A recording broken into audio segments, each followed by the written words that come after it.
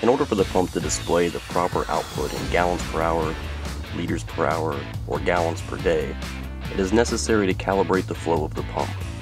In order to do that, press No until Settings is displayed. And then press Yes. Press No to move through the settings screens until Calibrate Flow is displayed. And then press Yes.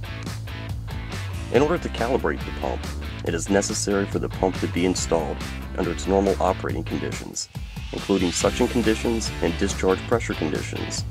You will also need a calibration cylinder in order to measure how much the pump pumps during the calibration process. The pump will first ask us what the stroke length knob is set to. That is this large knob here in the center of the control panel. If the stroke knob is changed anytime after the calibration is performed, a calibration will have to be done again. Once the stroke knob setting is entered, press the yes key. The pump will then ask us if we're ready to run the calibration. Pressing yes will tell us to press yes to start the pump. The pump will now run until we stop it.